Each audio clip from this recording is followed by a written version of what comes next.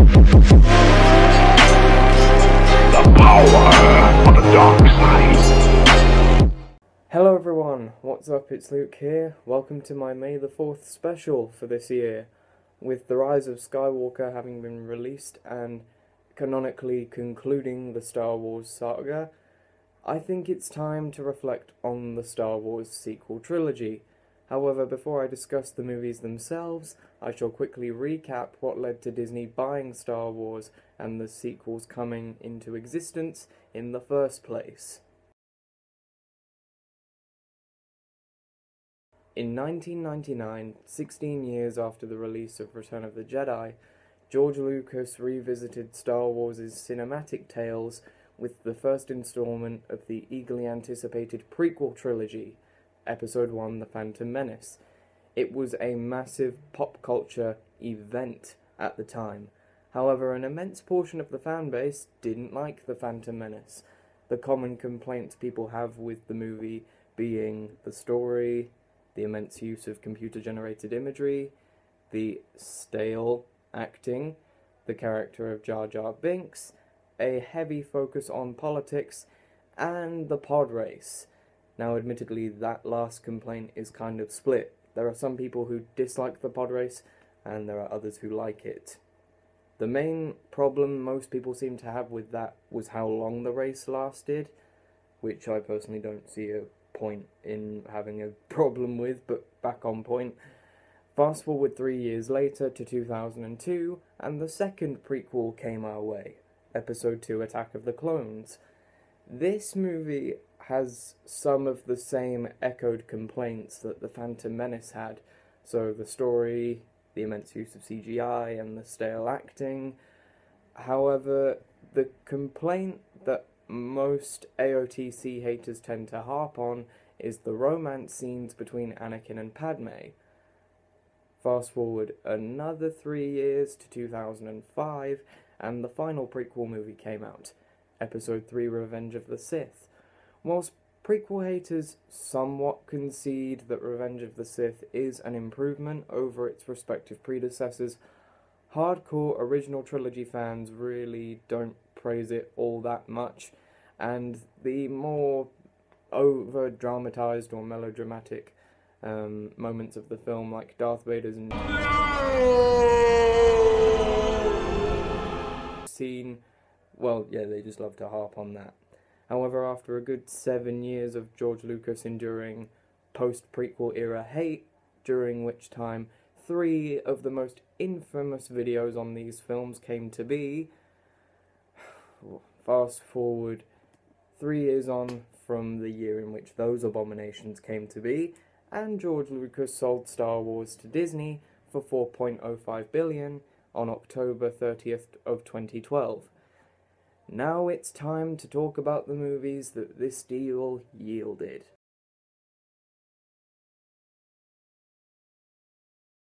Just under two years after Disney's purchase of the Star Wars IP, we received the first teaser trailer for Star Wars' cinematic return, The Force Awakens. I think it's quite obvious looking at the trailer that Disney and Lucasfilm wanted TFA to be a return to form, as it were, for fans of the franchise. And I know this next thing may sound quite mean, however, I honestly believe that appeasing die-hard OT fans who despised the prequels was the top goal for Lucasfilm concerning this particular cinematic outing. And believe me when I say you don't have to search all that far to find prequel hate on the internet. All three trailers for TFA were not afraid of frequently shoving nostalgia in people's faces, an example of which is how the trailers for TFA gave the impression that the original cast would have prominent roles again. Also, I know this may not be 100% relevant, but you know when I chucked that hint of shade at Red Letter Media's prequel videos? Well, the essence of those reviews, or smears, whatever you want to call them, chose to carry on, or rather, they were carried on in the months leading up to The Force Awakens, when you had people like Jeremy Jahns, Chris Stuckmann, Nostalgia Critic, and others who chose to take their turns bashing the prequels leading up to the release of TFA. Heck, at the beginning of his TPM review, Chris Stuckmann openly shouted out Red Letter Media's review of the film, and even went so far as to say that Red Letter Media's TPM review is probably his favourite movie review of all time. It's almost impossible for me to review this movie without giving a humongous thank you and shout out to Red Letter Media because their review for The Phantom Menace is quite possibly my favorite movie review of all time. If that's not a sign to you as to how bafflingly influential these reviews have been in the YouTube prequel hate circuit over the past 11 years now, I don't know what is. Anyway, I'm going to skip straight to when The Force Awakens arrived on the scene and the impact it had on critics and fans alike following its release.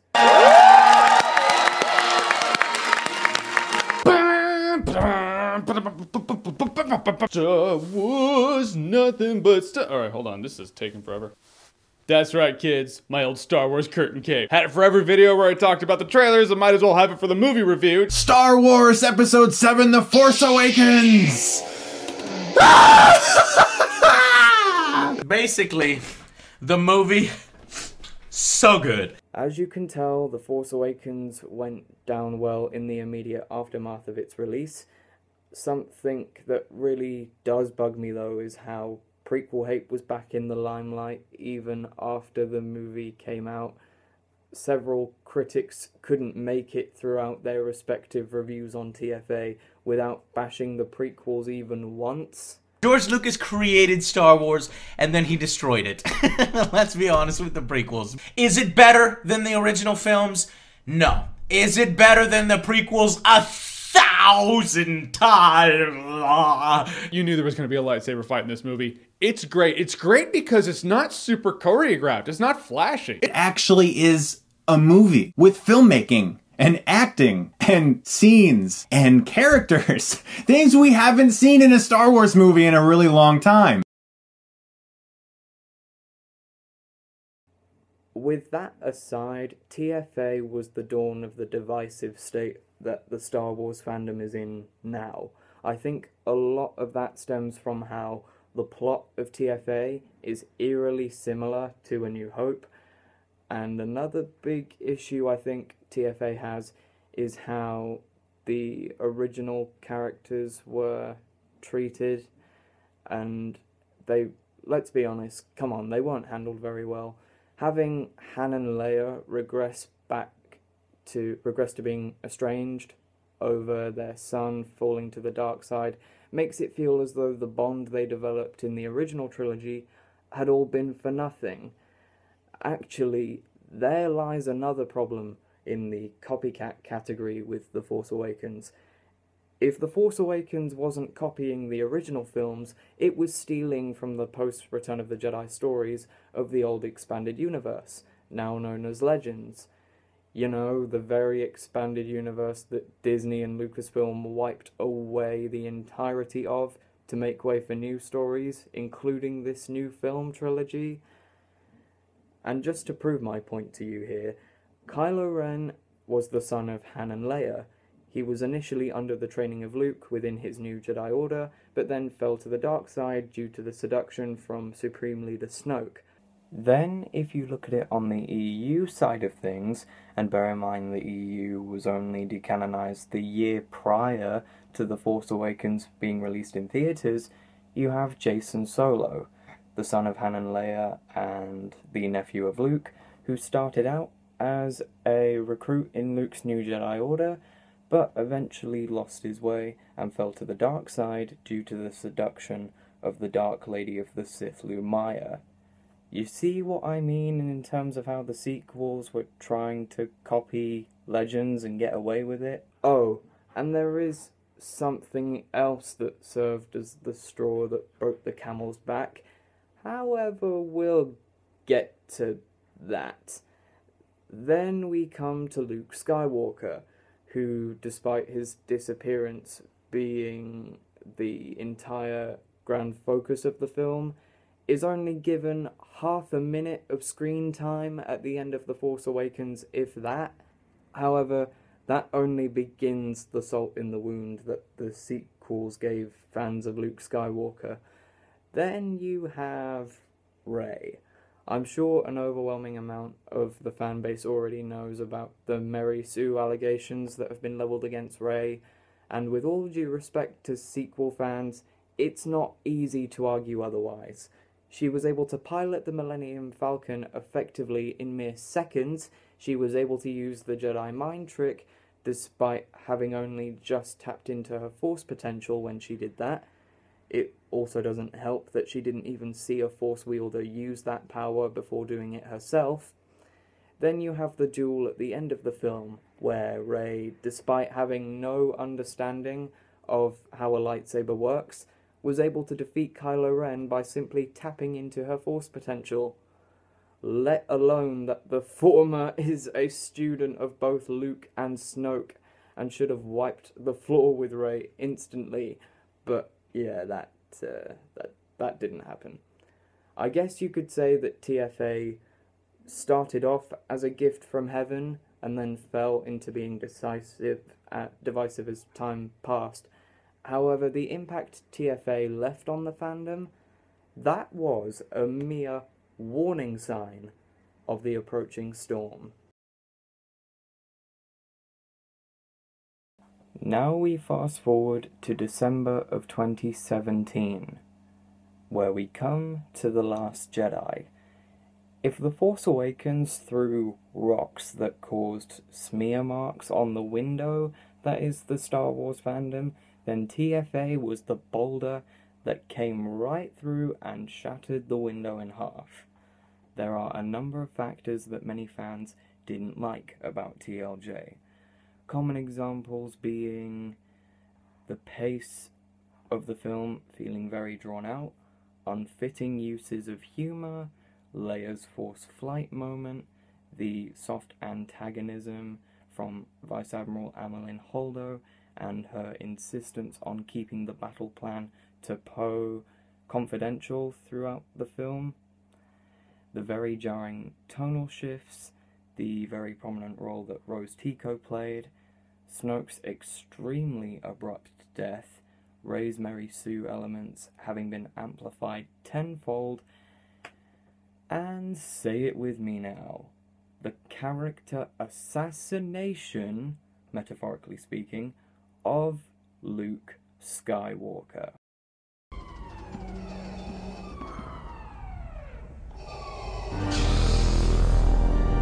Of all the problems TLJ has, and bear in mind the ones I listed were some of the most common complaints you hear, the way that Luke is treated in this film, that's the one which claws at my heart the most. While Anakin will always be my number one Star Wars hero, I am also a big fan of Luke Skywalker. However, the first thing that really had me thinking, hmm, something's going on here, was when Luke casually tosses Anakin's lightsaber over his shoulder. That lightsaber is the heirloom of the Skywalker family, a symbol of the legacy that the Skywalker family engraved on the galaxy. The lightsaber formerly owned and wielded by his father, the prophesied chosen one. Yet Luke just tossed it aside like it was nothing. As if that wasn't bad enough, then we have Luke acting like a miserable grouch throughout the film. However, they then pulled the ground from under us immensely by revealing that Luke initiated Ben Solo's fall to the dark side by briefly contemplating whether or not it's worth outright murdering Ben Solo because he sensed a glimpse of the dark side in his student. Okay, so at the end of Return of the Jedi, Luke's fighting Darth Vader, the second most tyrannical villain of the Star Wars universe at that time. We see Luke briefly struggle with temptation to kill his father after Vader threatened Luke with the possibility of Leia becoming a servant of evil. Luke's righteous fury was being motivated further by Darth Sidious. However, after a moment of contemplation, Luke ultimately resisted his anger and tossed his own lightsaber aside, swearing to not kill his father and resisting the temptation of the dark. So Luke was able to prevent himself from falling over the edge at the last possible moment and cause Darth Vader's redemption, yet 30 years down the line, a glimpse of the dark side in his sister and best friend's son, his own nephew, instantly warrants potentially killing him? What's with this illogical change in Luke's mentality? But that's not even the worst part. The worst part is coming up. The final major thing I want to talk about here is the way Luke dies. So, at the end of The Last Jedi, during the Battle of Crait, the Resistance are trapped, and it seems like all hope is lost. Yet Luke decides to come out of hiding and participate in the battle. He makes his way out to the battlefield and is subjected to blaster fire from the First Order AT-ATs. I know they're called AT-M6s, but come on people, they're AT-ATs. Luke and Kylo find themselves in a face-off, and after a brief exchange in which Luke confirms to Kylo that Luke will not be the last Jedi, we have the moment where Kylo rushes at Luke, mauling him, as it were, or so it seems. Kylo turns back to Luke and pierces Luke's chest, only to discover that Luke is a force projection, which infuriates Kylo. Then we cut back to Ahch-To, and we see Luke shortly after his projection faded away. Um, and we see that Luke couldn't bear the strain of the force projection to the point where it just kills him. I'm sorry, but if you're gonna kill off a legacy character within your franchise who has been there since the very beginning, you have to make them go down, you have to give them a death that fits the character. You have to have them go down like a like a hero. Otherwise when they bite the dust, their death will mean nothing. And all Luke's death did for me was just wind me up. Because having Luke fade away like that, yes, it's a beautiful image with the sun of Crait on Luke's face as he ultimately passes on and becomes one with the Force. But I was expecting him to die in battle and go down like a blooming hero. And that's not what we got. And I genuinely hope that Disney and Lucasfilm take the public outcry that occurred as a result of how they treated Luke in TLJ to heart as a reminder of what happens when you shatter a legacy character and invert their core to where they're hardly recognizable. Anyway, I shall move on. Now we come to the calendar year just gone. It was in April of 2019 that the first Episode 9 teaser trailer was revealed at Star Wars Celebration, during which there were a couple of key moments, the first of which being the appearance of Lando Calrissian, and the second of which were the remnants of the original Death Star from Return of the Jedi, which was completely obliterated at the end of that film, so why are there still remnants of it? Uh, but then, of course, we get this moment. There's the return of Palpatine. In short, that detail within Rise of Skywalker makes it a poor man's version of the classic EU story, however controversial it may be, Dark Empire. For those of you who aren't aware, the big draw of Dark Empire was indeed having the Emperor return. So if you are an EU hater, or you hate Dark Empire, well, you EU haters no longer have valid ground on which to complain about the Emperor coming back in Legends because the new canon is guilty of the exact same thing. On the whole, Rise of Skywalker has gone down as a mixed conclusion to the sequel trilogy. Anyway, now that I've said what I want to say about the films, I shall go on to talk a little bit about how the sequels have impacted the fandom itself. Simply put, the sequels are probably the most controversial subject in the Star Wars fandom. Ever since The Last Jedi, the fandom has gone through a major split. In one corner, you have the hardcore Disney canon fans, and I'm specifically talking about the fanboys of the sequels. The best example I can think of to prove the fanboyism would be Mark Hamill's hashtag missed op- opportunities tweet, in which he posted a picture of Luke, Han, Leia, and Lando in the cockpit of the Millennium Falcon together. The controversy that this tweet stormed up was beyond unnecessary. I mean, I'm sorry, but the fact that you're willing to defend the new generation to the death so much, to where you'd disrespect an innocent tweet Mark Hamill made, is insane in my book. That said, haters of Disney Star Wars aren't one to talk either. On another side, you have the fandom menace. This side of the fandom practically embodies being unable to let go. Even if this is a bit of a shallow example, I'm going to put my neck on the block and use it regardless.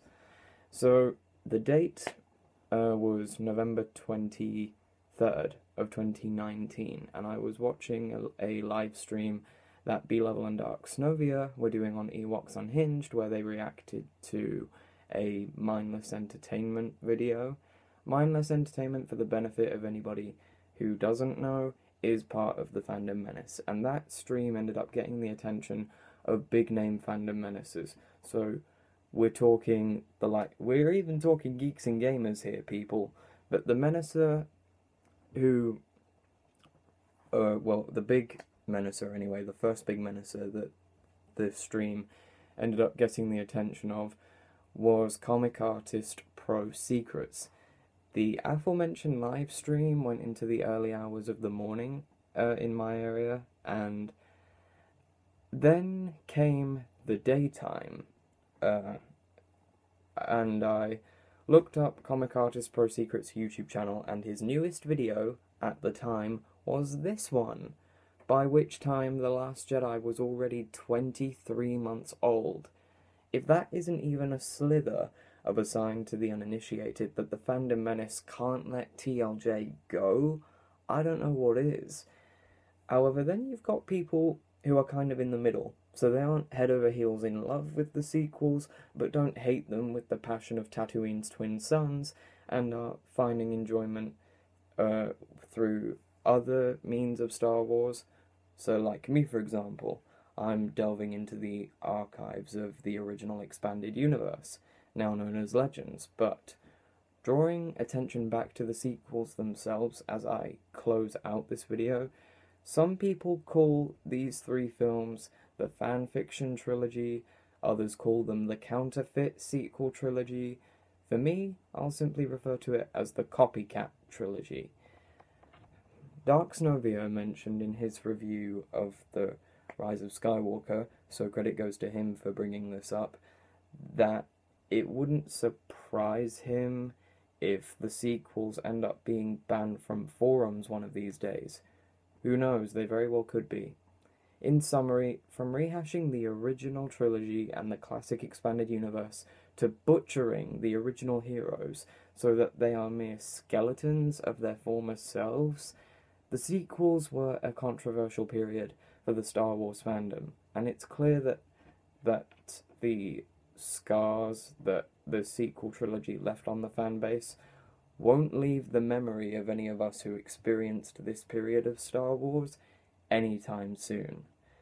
Anyway, guys, that's going to do it for me. I really hope you enjoyed this video, and I'll see you guys with a more positive video tomorrow. Until then, goodbye, you've been warned, and may the 4th be with you.